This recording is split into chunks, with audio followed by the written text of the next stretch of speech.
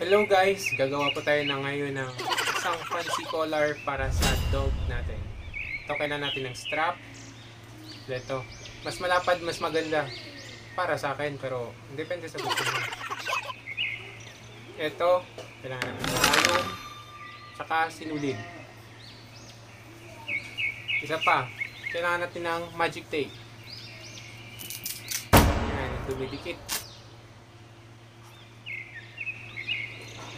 Last but not the least, kailangan natin ng medyo shiny. Kailangan natin to. Or depende sa inyo kung anong gusto nyo. Meron itong gold, silver. Nabibili ito sa tindahan ng mga patahian. Patahian ng gown. Medyo matibay naman siya. Pampasyal ng aso. So, let's start. Una, susukatin nyo ito. Yung lapad ng strap. Yan. Dito, dito. Tapos gugupitin nyo siya.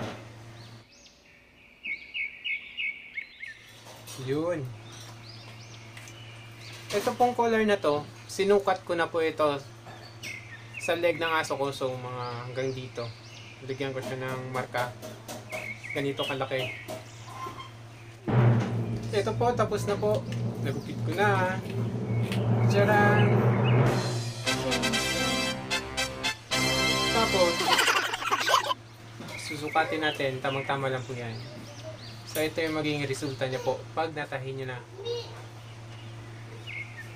Actually, nasubukan ko na po ito nung nakaraan sa isa kong collar. And umabot na rin po siya ng almost 2 months.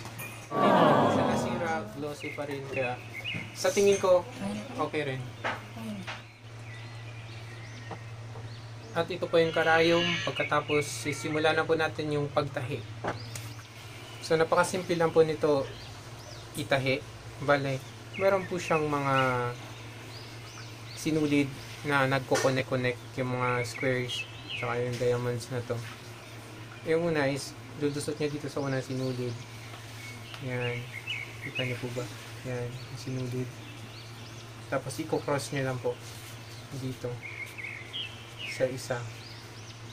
So, bali, i-cross niyo lang po dito. Ayaw mo focus. Dito. I-cross niyo dito. From dito, pupunta dito. I-cross niyo.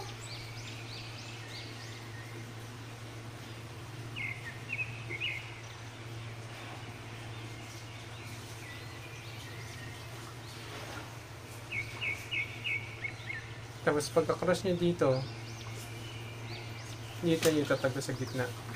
Yan, makita nyo yung karayom dito sa gitna.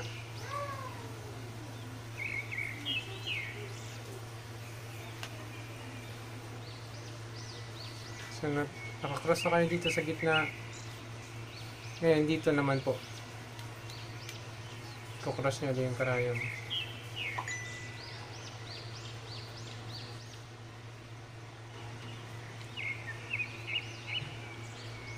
So paulit-ulit lang po yan hanggang sa umabot kayo dito sa dulo.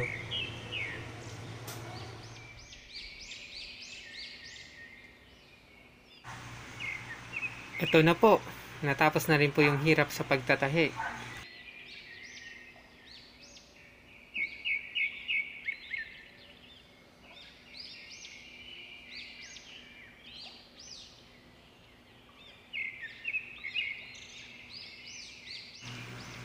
Isusunod na rin natin to yung strap or magic tape. Pagkatapos okay na. Pwede na nating ikabit sa aso natin.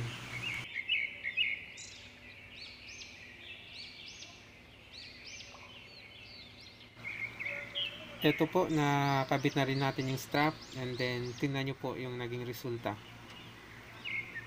Kung gusto nyo po na pwede siyang makabitan ng tali pwede na rin po yung collar is i-cover nyo lang ng ganyan yan rin yung ginawa ko sa previous na collar ng aso ko pero ito kasi is fancy lang eh pampasya lang or pang gala-gala kaya magic tape na lang nilagay ko